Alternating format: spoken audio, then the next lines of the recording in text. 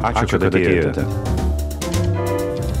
Kalba Vilnius, sveiki. E, Čia aš Andrius Užkalnis, žinių radijoje mano laida ir e, svečiuose aktorius Arūnas Torpirštis. Arūnai, ačiū, kad atėjot. Ačiū, kad pakvietėt. Puikiai. E, Aš jūs pakviečiau, pakviečiau dėl dviejų priežasčių. Pirma priežastis dėl to, kas jūs esat, o kita priežastis filmas pasirodo, kurio plakatuose jūs esat, Dėdė Rokas ir Nida. Ir apie tą filmą mes dar pašnekėsim premjerą antradienį ir paskui bus visuose kino teatruose. Bet aš norėjau nuo pradžių pradėti. Uh, jūs Vilnietis pats esat.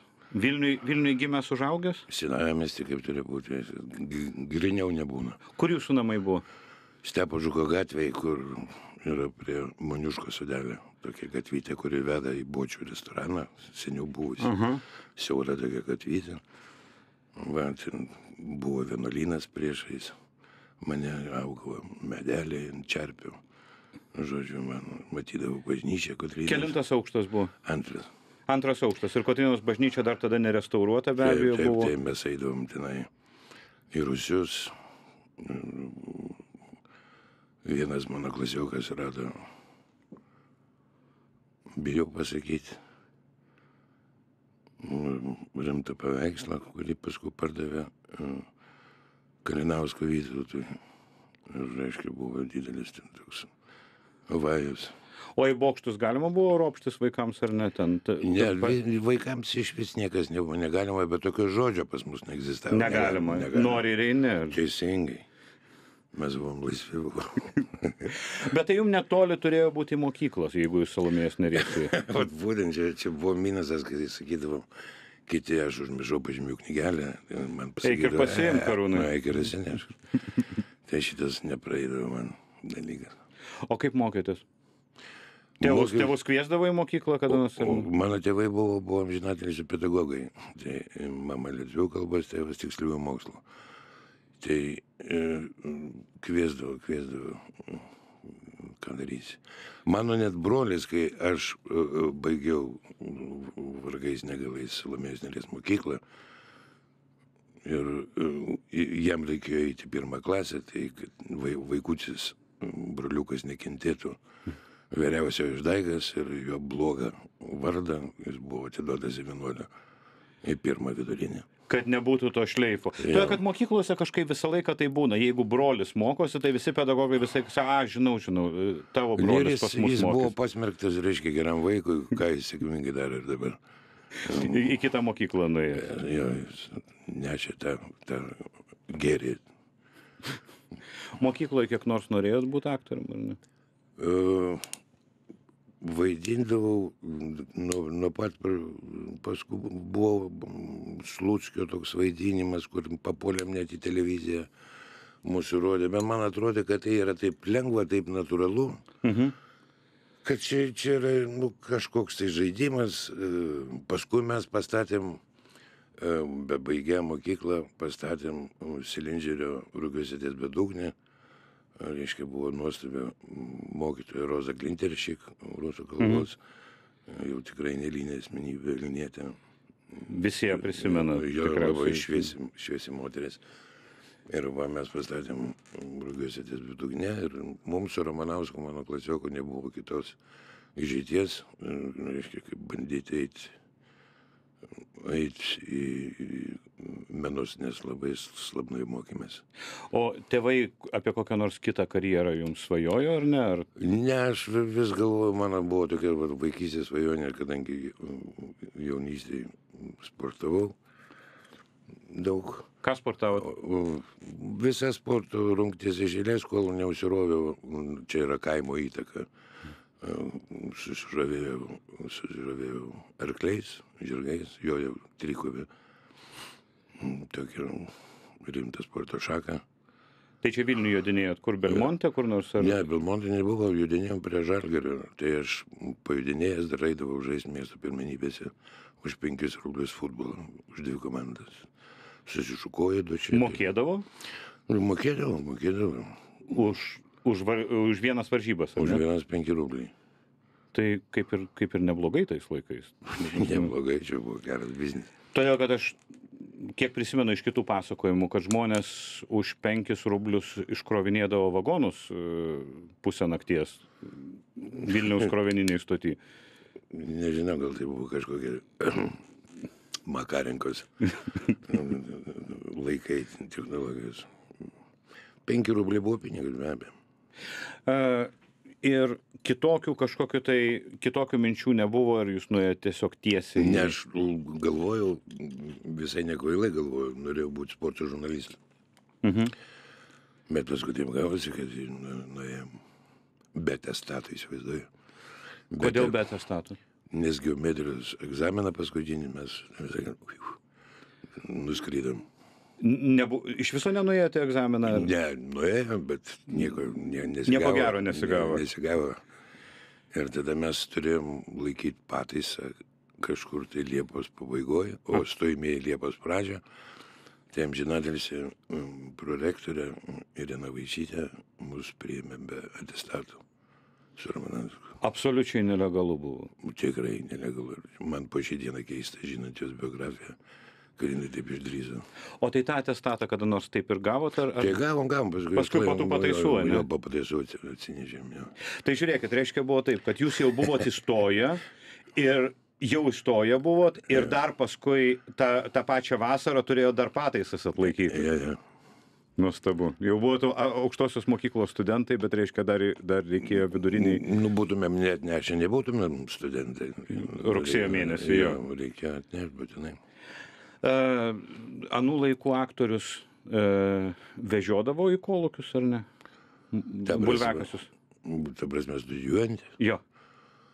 Ne, mes studijuojant daugiau, daugiau važiuodavom jau kaip su koncertinė programam, rodydavom studentams, kurie statydavo visiukam, tie, kurie studentavo, dirbo statybos būriuose. Tie SSB studentų statybiniai būriai.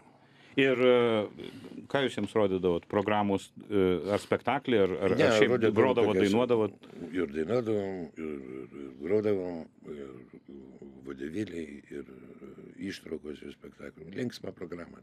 Čia dar anais laikais tokių agit brigadų dar kaip ir nebuvo tikriausiai. Ar, ar jau buvo jos atsiradusios? Jos buvo, bet mm, kažkaip tai, kadangi tai yra konservatorija, tai kažkaip to tokio vajaus, kadangi daug muzikantų, reikia mhm. saugoti rankas, lūpas, ausis ir kitus organus. Reiškia, Tai neduosi bulviukas. Jo, kam šaldyti? Bulvės tegu chirurgai. A, o kai mokėtės, buvo kažkoks tai, ta prasme, jūsų, jūsų pedagogai, ką nors sakydavo apie jūsų ateitį?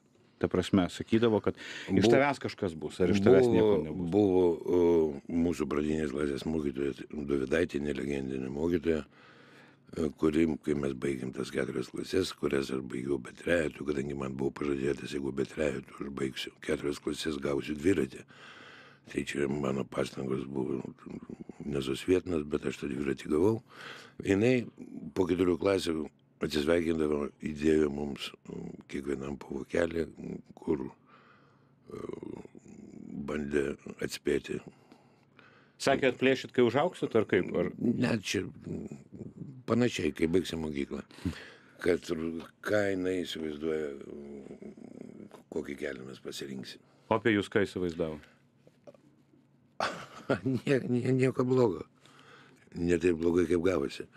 Ne, visai gerai irgi mm, humanitarą. Aš rašiau.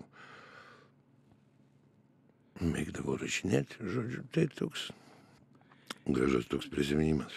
Jinai įsivaizdavo, kad jūs bu, e, turėsit kažką su rašymu bendro, ar ne? Surašym, jo. A, Padarykim trumpą pertrauką, grįšim niekur neikit, likit su žinių radiju. Ačiū, kad atėjote. Tęsiam laidą, aš Andrius Užkalnis, mes su aktoriu Marūnu Starpiršiu studijui. Žiūrėjot vakar krepšinį? ar? Žiūrėjau be abejo. Visą laiką žiūrit, ar, ar, ar čia tik tai finalus? Ne, bet kažkaip tai pradėjau žiūrėti nuo, nuo, nuo pat pradžių ir, ir žiūrėjau su malonumu, tokiu augančiu visą laiką. Uh, ir vakar malonumas, ar ne? Ar biški... Ne, buvo Jūs emociškai veikia tokios, toks dalykas kaip varžybos, kaip pralašinėjo komanda? Mane veikia kaip normalų žmogų ir, ir kai pralašinėja, ir kai išlašinėja veikia, čia viskas normalu, bet ir tiesiog mes turėjom tokį laimingą paukštį, e, fortūną ant pėties ir mums labai, labai pasisekė, aš skaitau. Prieiti iki finalo ir... Taip, su tokiu sąstatu, su, su tokiu, su septyniais žaidėjais žaidžiant. Skaitykim, kad pasisekė vis dėlto. Labai, Labi- Labiau. fantastiškai, fantastiškai pasisekė.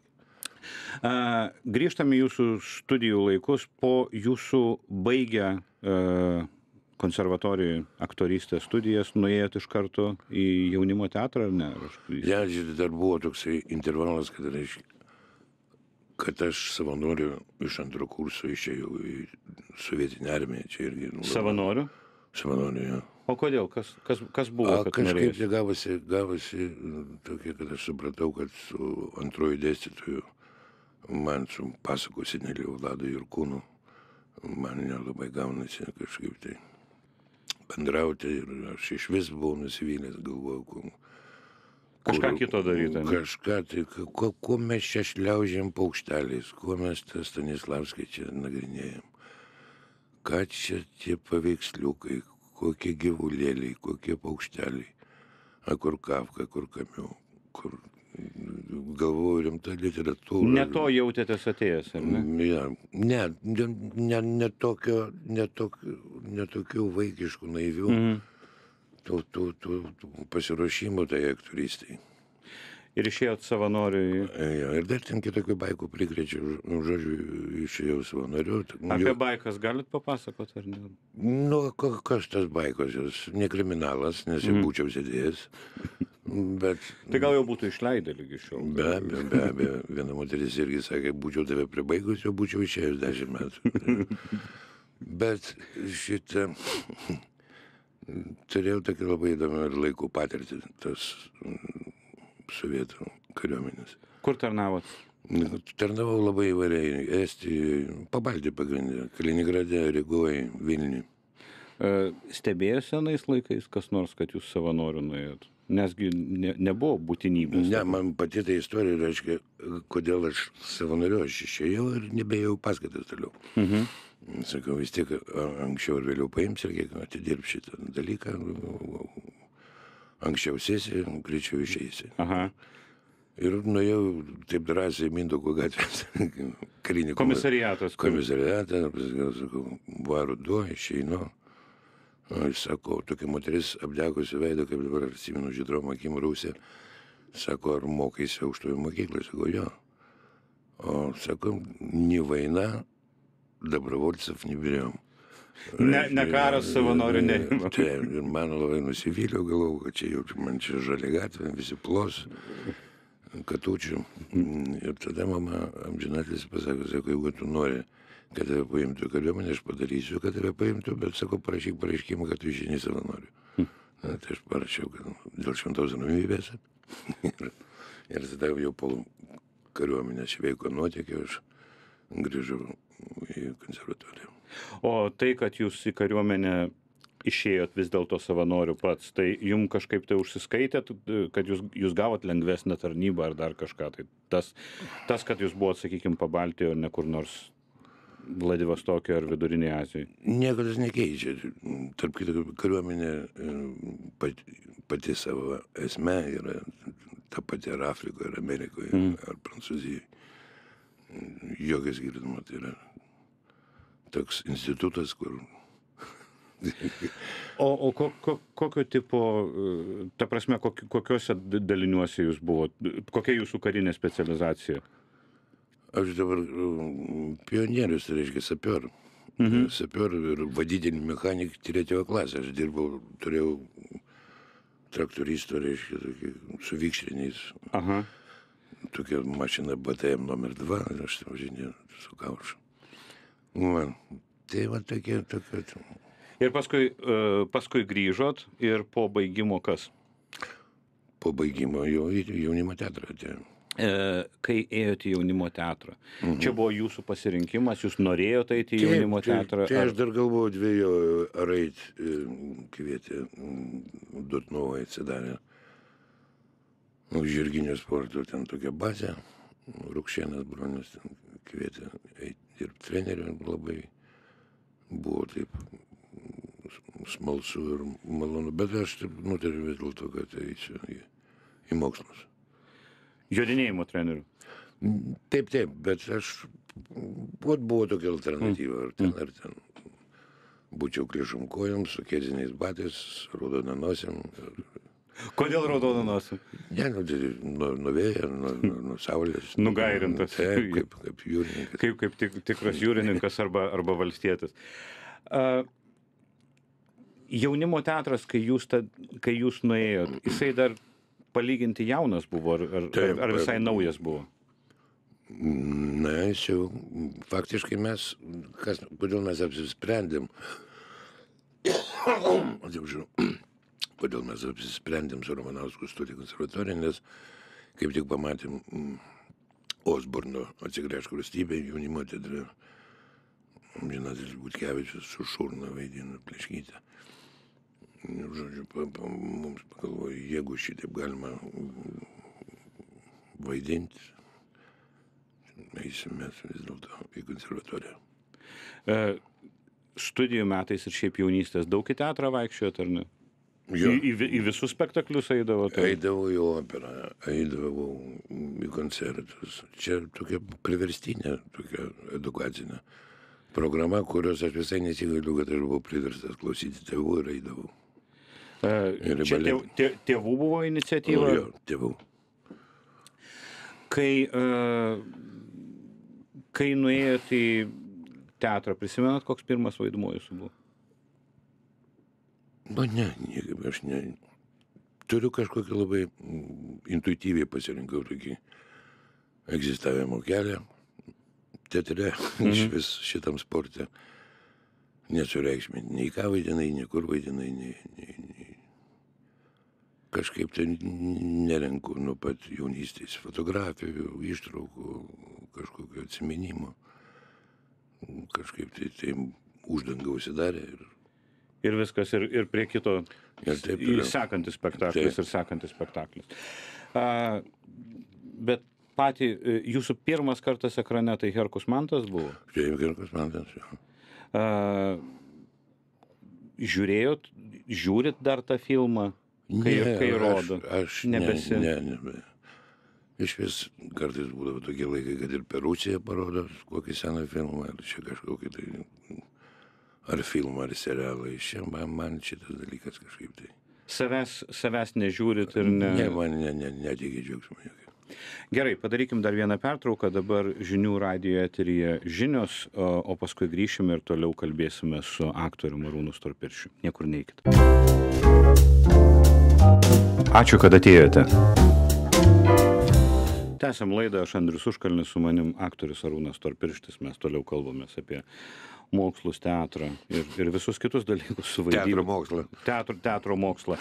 A, iš kino anų laikų, sakykim taip, kai, tų laikų, kai dar buvo Lietuvos kino studija, iš anų filmavimų, kažko pasilgstat ar ne? Absoliučiai nieko. Buvo gal tik tai toksai e, vienas smagus toks, dar pirmiau Herko Manto, ar jau po Herkaus Manto, mano to pir- pirmos praktikos lietuviškam kinė pui padarė diplominį darbą, Lygimantas, ir mes padarėm pagal Žalikavičiaus novelę, kur pasaulis priklauso tik vyrams, buvo nemonė įspausdinta, ir mes padarėm jo diplominį filmuką 40 minučių. Kelio ženklai vadinasi, mes turėjom ten tokį tikrai gerą laiką. Ir su Puipa jūs paskui dirbot daug kartų, ar ne? Daug, daug kartų dirbom, bet man mane nu- nurungdavo vis labai aktyvus kursiokas Smuriginas ir aš supratau, kad čia bergžės reikalas. Jisai geresnius vaidmenis gaudavo? Ne, mes gaudavo tuos vaidmenis, kur jūs norėjote? Mes tuos pačius vaidmenis bandėm angažuotis abu, bet jis, aš kažkaip per mažai laiko skirdavau da, užklasiniam darbui. Jum sakydavo kas nors, jums sakydavo kas nors, kad jūs su Smoriginu labai kažkuo panašus. Na kaip gali kaunietis su Vilniečiu būti panašus. Bet vaidyba, kalbėjimo stilius ir, ir viskas. Nes man, man, man yra labai daug panašumų kažkokių tai. Ar čia, ar, čia, ar čia mokslų dalykas, ar čia taip, kaip jūsų, taip, kaip jūs mokėte? Pirmas žmogus, kuris sako, kad aš su Smolkinu panašus. Aha. A, reiškia, niekas nesakė. Tai. Nesakė man, nežinau, kaip čia laikyti komplimentų. Mm. Ne, viskas tvarkoja, mes, mūsų kursas tai daugiau ne, negu giminės, broliai sesės. E, tebe bendrauja daugiau, ne, ne, daugiau negu, ta prasme, kolegos. Papra... Nes, nu, žmonės aktoriaus profesijoje vis tiek bendrauja vieni su kitais, susitinka filmavimo aikštelėse. Dabar rečiau, kadangi teatre jau ne, ne visi mes esam, bet būtinai susitinku ir su Dalės Torek, ir su Remigijum Vilkaičiu, o dabar jau turėsim susitikimą antrą valandą po laidos. Žodžiu, palaikom, palaikom ryšius. O e, į Domino teatrą jūs nu, ėjote? Nesu buvęs. dar. Ne, nesat buvę, nes, nes jūsų kolegos kai kurie... e, O nieko ėjo- blogo, čia, čiagi ne, ne Aš viešinamas. nesakau, aš nesakau, kad kas nors blogo. Čia kiti sako, kad blogo. Sužinotumėm, kad eina į privatų viešinamį, o tada mes... Tada yra blogiau. Ne, gal geriau, nežinau. E, ne, todėl kad e, daugelis žmonių turi kažkokį tai, na, tokią, nežinau, požiūrį į, į, į domino teatrą, kurio, kurio aš ne, ne visai suprantu. Galbūt. Aš žinau, kad aš gal ir suprasčiau, kad, kodėl tas teatras egzistuoja, bet nu, ne, nėra poreikio. E, jūsų į, televiziją koks požiūris yra? Televizija mano yra poreikis, yra toksai. Šiaip aš galiu iš karto užbėgdamas į, į priekį pasakyti, kad mano dienotvarkė yra tokia. Aš turiu galimybę mm, gauti ir skaityti knygas, ką aš darau labai intensyviai nuo pat mažens. Labai daug skaitau. Ir jaučiu neapsakomą malonumą. Aš dabar nori, nenori skaitydamas darau savo castingus, bandau, jeigu tai limpa, ar kinu, ar piesiai. Kartais pagaunu save, kam tu žmogau, čia čia tu prakaituoji, neprakaituoji, kodėl tu taip čia krikštauji, kad galima padaryti sceninį variantą, adaptaciją kažkokią ar ką, kokį galim filmą padaryti, koks scenarius geras būtų. Jūs žiūrit, jūs knygas skaitot kaip režisierius ar kaip, kaip, kaip scenaristas, ta prasme, mintyse? ar Ne, nori, nenori, nuo šito ne- nepabėgsi. Jau, čia jau, jau yra, tau, tu skaitai tekstus ir, ir galvoji, kaip, palauk, kaip galima juos būtų pasakyti, kaip įtaigiau, kaip skaniau, gražiau, estetiškiau ir taip toliau. Tai malonu matymą ar prideda nuo skait... e, Skaitimas tai yra absoliutus malonumas, mano čia yra vienintelis džiaugsmas, nu, kaip ką tai reiškia vienintelis, bet tokius jis yra tam penkitukė starto. E, per kiek jūs per dieną skiriat maždaug laiko skaitimui? Ne, čia aš ne, neturiu toks kaip giotė, kad e, jeigu Disciplina, jo. jo. Disciplinos šitam dalykė nėra, nes yra dar ir kitų ir pareigų, ir džiaugsmų, ir ne visai džiaugsmų. O šiaip, tel, kas liečia televizorių, grįžtant prie klausimo, e, mano žiūrėjimas televizijos tai yra e, Anglijos Premier lyga. Jau, Futbolą. Jau daug metų žiūriu, žinau transferus, trenerių kaitą, žaidėjų. Žodžiu, aš tokios lygos, kaip aš žaidęs futbolą. Ir vis dėlto mano sportas numeris vienas tai yra futbolas. Tai aš turiu irgi nemažiau didelį malonumą žiūrėdamas, žiūrėdamas Premier lygą. O lietuviškos televizijos žinių ar serialų ar Ne. ar nelabai.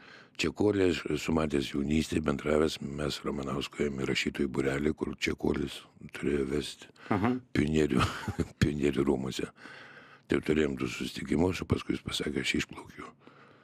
Išplaukiu į Kubą. Ir iškeliavo tada ir tada čekuolė jau prasidėjo vis, visos kelionės ir Kuba, ir Ispanija. Ir... Taip, taip. A, Tai laidų ne, ne, nežinau, kažkaip tai ne, ne- neklausau, galbūt ir smalsu, bet aš, man gaila laiko paprastai, aš skaitydamas didesnį malonumą pajaučiu. nes yra kuo užsiimti ir kitų. A, apie filmą Dėdė Rokas ir Nida. E, tas filmas netrukus prasidės ir bus rodomas jūs, jūsų veidas yra tuose afišuose. Nu, tai pagrindinis, pagrindinis dalykas. E, jum pačiam patiko filmuotis ar ne?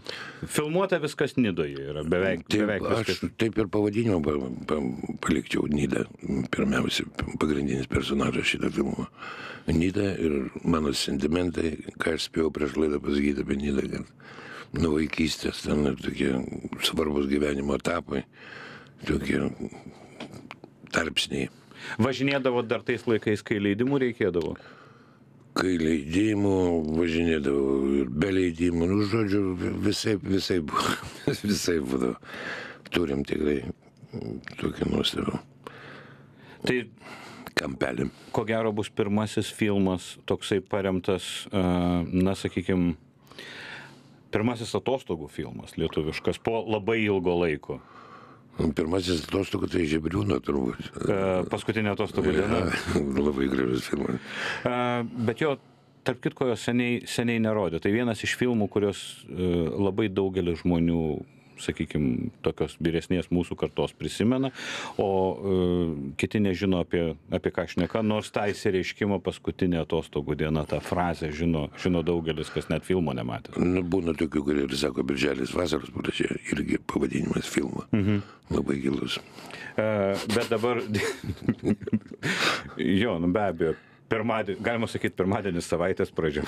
Neperšokęs, nesakyk kop. Jo, sausis pirmasis metų mėno. E, Tas e, jum, jum pačiam mm, Dar patiko. kita frazė labai gera, penktadienis savaitės pabaigos pradžia. E, jo, labai, labai, labai tiksliai ir taikliai. E, Jum pačiam patiko filmuotis ar ne tame filme?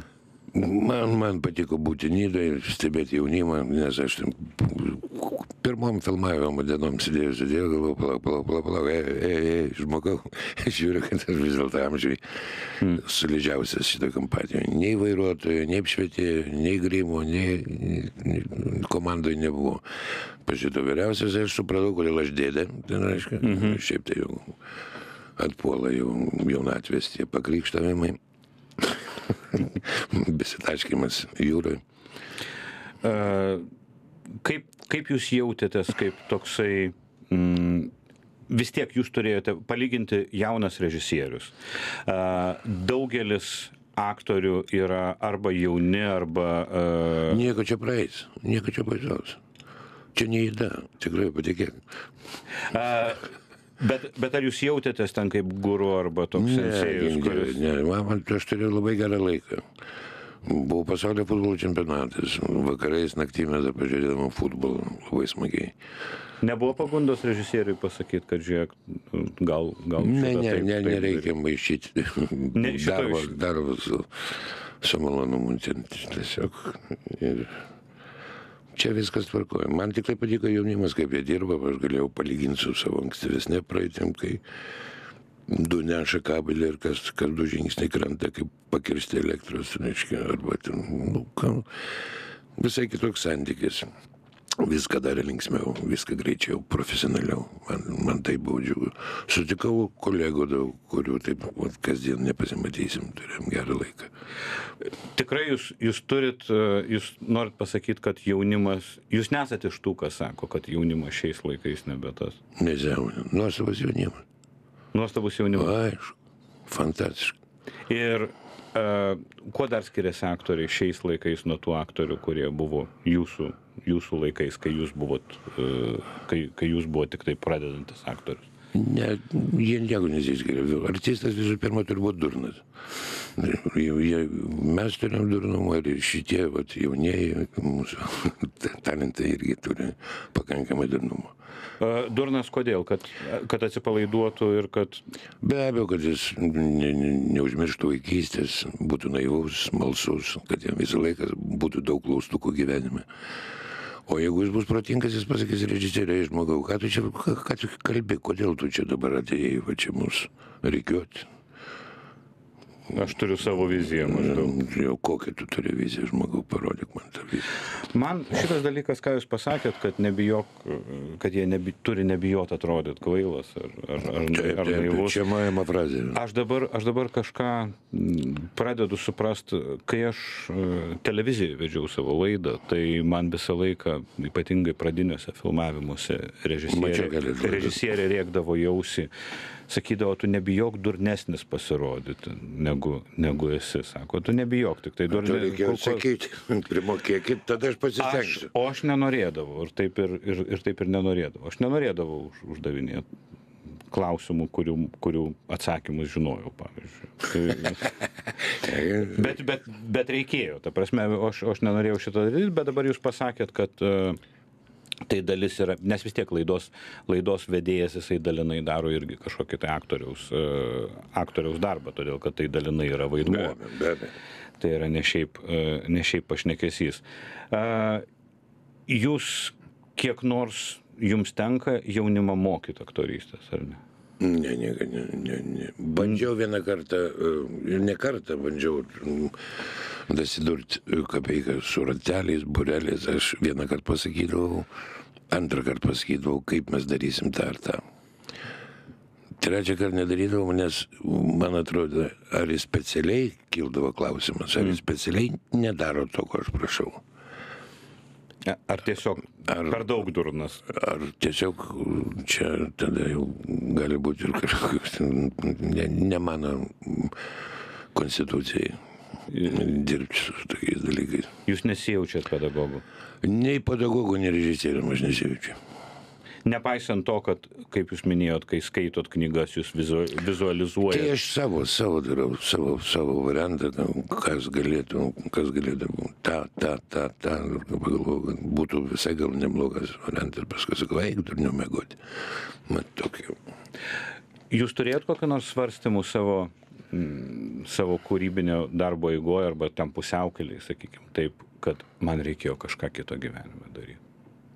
Ai, ne, čia yra beprasmis, beprasmis žaidimas. Mm, Čia tas pat, kad išėjęs, pralošęs pinigus ruletė, sakykime, nu, va, aš galvoju. Reikia nolika, jo. jo, Arba ant juodo. Ne, ne, šito žaidimo aš nežaidžiu. E, Paminėjot lošimą, jums e, lošimas įdomu ar ne? Azart, Jo, fan, azartas, fantastiška, fantastiška dalykas. azartas yra ar ne? Jo, esu tikrai, mm, turiu auksinį kortą, olimpį kazino, dažnai kartais nueinu. Dažnai kartais. Nu, Daž, dažnai, dažnai, dažnai kartais. Dažnai kartais. A, iš, a, iš filmų, a, ką jūs, ką jūs šiaip žiūrite? Jūs einat kada nors į kino teatrą, ar ne? Retai, atvirai pasakęs, buvau mm, paskutinį kartą kinet, kai žiūrėjau mm, apie Sabonį filmą, auksinį kartą, karšlygą. Kaip filmas pasirodė? Su visais, su visais mm, labai gerai, labai gerai. Ten buvo didelis darbas padarytas. Jisai e, labai nestandartinis palyginti su... Nes apie Sabonį ir apie lietuvišką krepšinį yra tiek pridaryta visko, kad atrodo, ką dar gali pasakyti. Bet kažkaip tai tie žmonės buvo, buvo išnekinti. Gamtą mėgstat? Gamtą mėgstu, mėgstu gamtą. mm. ne, tikrai mėgstu gamtą. Kas, ta prasme, Lietuvoje, pavyzdžiui, mes jau pakalbėjom apie Nidą. Kur jum, kur jum dar smagu yra? Nes jūs Vilnietis. Ir Vilniečiai turi skirtingai nuo kitų žmonių, žmonės, kurie atvažiavę iš Vilnių, į, į Vilnių iš kažkokios tai tėviškės, jie turi natūralų prisirišimą prie kažkokios tai vietos, iš kur jie atvažiavę, ten ar iš Veisėjų, ar iš, iš dar kažkur. Jūs turit kažkokią tai vietą už Vilniaus Lietuvoje, kuri jums taip pat daug reikštų? Vienos konkrečios vietos neturiu, aš tiesiog labai džiaugiuosi, kad mano vaikystė, kurią mes vėl nuo, jo, nuo jos pradėjom, nuo paauglystės pradėjom, nuo mokyklos. Bet vaikystę aš praleidau nuo trijų metų, kai aš jau buvau kaime. Kur kaimas buvo? Vienas kaimas buvo prie Panevežio Pumpinai, toks miestelis. O, o tėvukas iš Suvalkijos, tai ten buvo toks Izabelės Laukait- Laukaitytės kolūkis, Šunskai, bažnytkaimis, o tenai mano, mano pirmieji tokie atradimai gyvenimo. e, Supratimą aš labai džiaugiuosi, aš po šiai dienai atsimenu, nes tų įspūdžių neištrinsi, kaip failų. E, Jie išliko visam gyvenimui ir aš džiaugiuosi, kad aš tokie žmonės sutikau, kad jie be tarptautinių žodžių man aiškino gyvenimo prasme, kas yra gera, kas yra bloga. Aš didžiuojuosi, kad aš turėjau tokią vaikystę. Nuvažiuoji ten dar kada nors ar ne? Važiavam su, su kurso draugu Latėnu, jau ten nieko nebėra. Aš norėjau parodyti savo kaimą, jis man parodė savo kaimą, žodžiu. Po jo kaime liko kas nors ar ne? A, liko pažįstamų ratas, sodybos, reiškia, bet, bet tas dalykas jis toks gan, gan skaudus dabar važiuoti. Tas pats, kas grįžti, nežinau, į ką- kur tu pirmą pasimatymą, mm. arba ten kažką tą, tokio. Gan skausmingas, ta prasme, aš noriu pasakyti šitas procesas. Kodėl? Todėl, kad kažkoks netekties jausmas aiškiausias yra, ar ne? Kad, kad savo- nebėra to. Ne, supranti visų pirma, protų tą suvoki puikiausiai laikinumą savo, negrįžtamumą. Ir tiesiog, kadangi tas viskas taip pakeltų aukštai buvo vaikystėje, tas, tas toks kampelis atrodo, jis turėtų gyvuoti, jis dabar atrodo kaip kažkoks nuskūręs, kaip ta višta pamušta kelią, kaip šuo prie būdos alkanas. Nu, kažkaip tai graudu, graudu. Iš to gerų emocijų nėra, ar ne? Nu, ką darysi, ten čia reikia jau kitaip galvoti. O sakykime, į... Nu, Džiaugtis, kad buvo. Džiaugtis, kad buvo ne ir pamiršti, kad praėjo, ar ne? Arba bandyti pamiršti. Jūs e, apskritai grėžiotis į praeitį linkęs ar nelabai? Nes jūs paminėjote apie tai, kad jūs nekolekcionuojat savo vaidmenų, ne, Ne, tai neklasifikuojat. nereiškia, kad aš juos užmiršau. Bet jokio mm, pasitenkimo nejaučiu grįžiotis. Į, sakykime, jaunimo teatro užkulėsius grįžtat kada nors? Aš dar dienai jaunimo teatre. Nenoriu sakyti ir dėdės. Jo, ma- mano nekvalifikuotas klausimas buvo. Ne, va, Aš pats pakankamai seniai buvau jaunimo teatre, va, todėl ir...